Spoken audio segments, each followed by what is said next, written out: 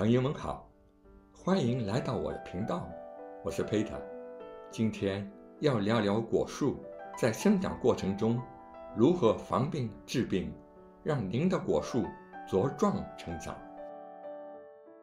在果树生长的过程中，病害问题可不容小觑，尤其是那些侵染性的病害，像根瘤病、细菌性穿孔病。枯枝病一旦发作，果树就很难完全康复，甚至会枯萎死去。所以说，我们要从预防着手，在果树染上病害之前就采取措施。那我们该如何防止这些病害呢？首先，在果树落叶后至萌芽前，对整棵树体，特别是根部。要全面喷洒一次石榴合剂或波尔多液，这类药物可是果树的保护盾哦。波尔多液是一种古老且被广泛使用的农药，它是由硫酸铜和生石灰按一定的比例混合而成，它具有广谱杀菌效果，对多种作物病害有预防和治疗的作用。因为它在果树上残留时间通常只有七到十四天，所以它在某些情况下可以被有机农业认证机构接受和使用。波尔多液里含有硫酸铜，当它溶解后，液体呈浅蓝色。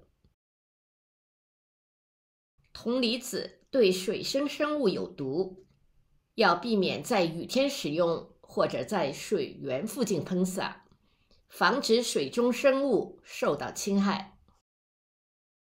使用时，请务必参照药品的使用说明书，掌握好浓度和用量。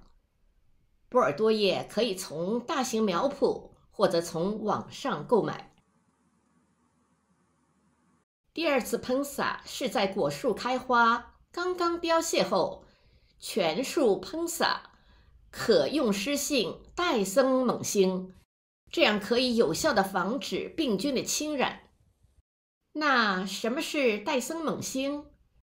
戴森锰锌是一种广泛使用的有机硫杀菌剂，主要用于防治植物的真菌性病害。它具有广谱、高效、低毒、低残留和对环境友好的特点。在农业生产中被广泛应用，请记住一定要参照农药的使用说明书，掌握好配方浓度和用量。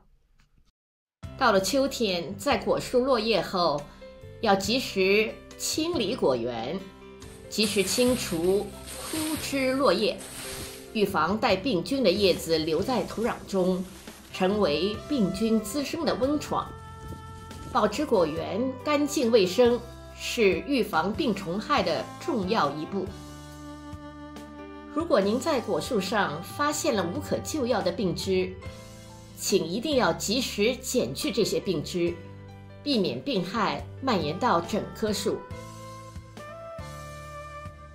到了冬天，要记得给果树的根部刷上熟石灰。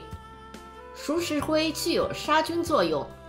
可以杀灭寄生在树干上的病菌和虫卵，减少来年病虫害的发生。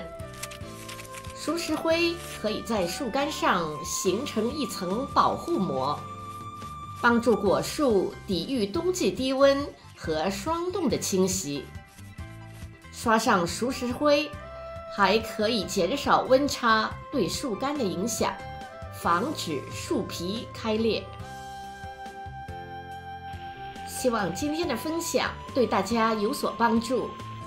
如果您喜欢这个视频，请点赞、订阅和分享，鼓励一下呗。谢谢您的观看，让我们下期再见。Thank you for watching.